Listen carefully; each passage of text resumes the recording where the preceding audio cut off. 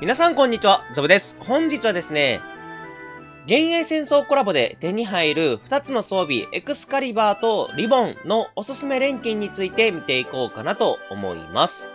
えー、それぞれの入手先はですね、まずエクスカリバーは高難度回転モグショップクポの、えー、エクスカリバーを集めるクポで手に入ります。えー、こっちはですね、周回するたびに手に入るんで、納得のいく錬金ができるまで何回も集めれます。えー、ですが、リボンの方は大規模戦幻影戦争のスコア報酬で手に入ります。こっちね、ちょっとリボンがずらっと並んでるようには見えるんですが、前回の点数と同じ基準であれば、まあ、大体の、まあ、ある程度ね、やり込まないユーザーであれば、おそらくこの21万点のスキップチケット50枚を目指すことになるんじゃないかなと思います。で、このスキップチケットまで行けば、このリボンとゴールド以外の報酬は全て手に入るんですけど、この21万点であれば、リボンは合計100個になっています。なんで、リボンがね、100個の錬金でちょっとね、いまいちかなと思った場合は、この上の点数を狙うような感じになっていますね。はい。では、おすすめの錬金について見ていこうかなと思います。まず、エクスカリバーからですね。えー、基本能力が HP プラス55、攻撃プラス15、賢さプラス15の特殊効果なしですね。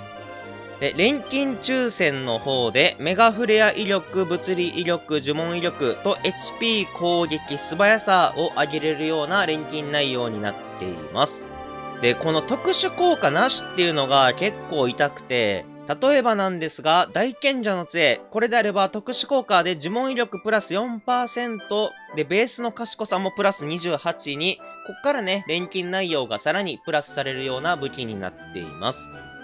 で、こっちの冥王の王様であれば、物理力プラス4%に攻撃がプラス28のさらにね、こっから錬金効果がつくような武器になっています。なので、エクスカリバーの場合はですね、ベースの攻撃賢さもプラス15ですし、特殊効果もついていないので、これね、物理力とか、呪文威力に特化しても、そこまでね、火力は上げれないんじゃないかなと思います。まあ、ですが、物理の威力を上げながら、攻撃とかを上げながら、HP を上げれる装備っていうのは結構あるんですけど、逆にですね、賢さとか呪文威力を上げながら HP を上げる装備っていうのはなかなか存在しないので、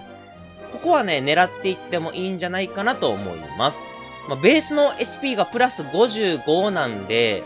錬金内容は呪文威力に特化するってよりも SP を上げながら呪文威力を何個か選んで、賢さをね、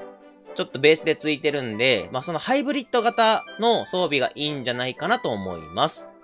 えー、その他の選択肢といたしましては、SP がですね、金でプラス79がついているんですね。で、これで最大292まで上げることができるんで、これはね、結構いい数値なんですよね。なので、HP 盛り装備がまだね、5本揃ってない方は、HP 盛り装備を狙うのがいいんじゃないかなと思います。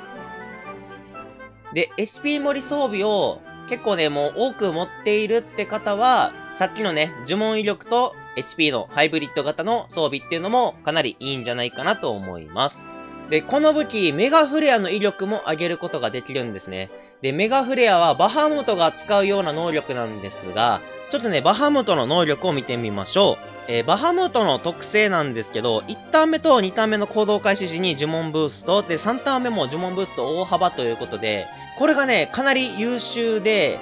威力がね、3ターン目にはかなり出るみたいなんですね。なんで、メガフレアの威力を上げれば、それをね、さらに上げることができるんで、まあ、ここはかなりいいんじゃないかなとは思うんですが、バハームートのもう一つの特性ですね。えー、戦闘開始時に移動力を上げてダメージを20%軽減と、もう一つが3突特性の方で自分の HP が50%以下になると最大値の50%自分の HP を回復するということで、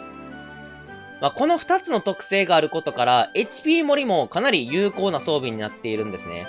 なので、対人戦とかであれば、HP を上げていって、まあ、かなり厄介なキャラクターにして、で、吹雪で、時々休みを狙っていくようなキャラとしての使い方の方がね、僕は強いんじゃないかなと思ってます。ですが、メガフレアの威力を上げて、まあ、カウントダウンと同時にね、ブーストを進めて3ターン目に効果力を出すっていうのもね、もちろんいい使い方だと思うんで、メガフレアの威力盛りが出た場合は、それはそれで全然いいんじゃないかなとは思いますね。なので、選択肢といたしましては、HP3 つか、呪文威力と HP のハイブリッドか、あとはね、メガフレア森っていうのももちろん強いのかなとは思います。まあ、さっきも言ったように、対人戦ではメガフレアよりも僕は耐久を持って吹雪で休みを入れていくような使い方が面白いんじゃないかなと思ったんで、メガフレアの火力盛りが生きるシーンとしては、まあどっちかっていうと高難度とか、僕の考えではですけど、個人闘技場は HP 持っていく必要はあんまりないと思ってるんで、まあ、それがいいのかなと思いますね。で、ギルド大会防衛でも結構強いと思うんですが、ギルド大会防衛では間違いなく HP 盛りの方がいいんで、メガフレアを使うシーンとすれば、まあ、高難度か、個人闘技場になってくるんじゃないかなとは思っています。はい。次はですね、リボンについて見ていきます。ベースの能力として MP プラス14、守備力プラス8の特殊効果が全状態状態性プラス3%ですね。で、錬金抽選の方で、えー、全状態状態性プラス、ヒャド属性域耐性プラス MP プラス、あと守備力プラスと賢さプラスがあります。えー、僕のおすすめするリボンの錬金内容は2つあります。まず1つ目が全状態状態性プラスに特化した装備ですね。えこの錬金の使い道といたしましては、主に対人戦になるんじゃないかなと思います。まあ、高難度ではそこまで使い道ないと思いますし、個人闘技場やギルド大会防衛では間違いなく使わないです。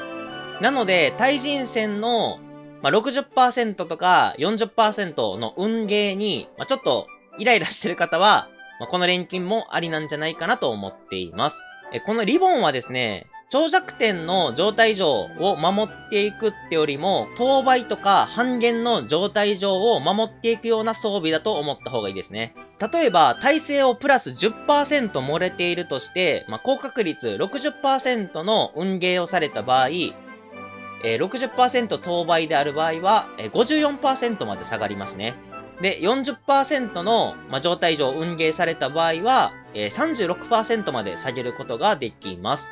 なので、まあ、思ったよりね、この数値の割には効果がないので、まあ、なので、対人戦では状態上耐性上げるっていうのも、まあ、もちろんいいとは思うんですが、それよりも素早さとか HP とか火力とかね、上げたいところって結構あると思うんで、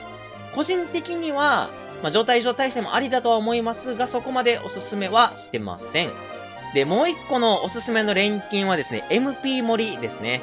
S 装備の MP 盛り装備って実はそこまであんまりなくて、えー、僕の持っている S 装備の防具の MP 盛りといえば、太陽の冠ぐらいなんですね。なので、MP 盛りのね、装備を狙っていくっても、かなりいいんじゃないかなと思います。えこの防具で MP をね、大きく上げるメリットといたしましては、えまあ、闘技場関連とかでは MP を上げる必要っていうのは全くないので、高難度ですね。高難度攻略の時に防具で MP を上げれば、まあ、ステータスの恩恵のでかい武器を火力とか HP 盛りに使うことができるんで、そういった意味では MP 挑戦の時にこの防具で釣ることはかなり有効なんじゃないかなとは思いますね。まあ、ですが、最近の高難度は短期決戦が結構多いんで、MP 盛り装備っていうのもなかなかね、活躍の場が少ないのは確かなんで、まあ、状態上耐性でもいいし、MP 盛り装備、どっちでもいいのかなと思います。ただ僕のおすすめとしては、どっちかというと MP 盛り装備をおすすめさせていただきます。はい。ということで、今回僕のね、エクスカリバーとリボンのおすすめ錬金内容を紹介させていただきました。参考になったよって方はね、チャンネル登録、高評価よろしくお願いいたします。はい、本日の動画は以上になります。ご視聴ありがとうございました。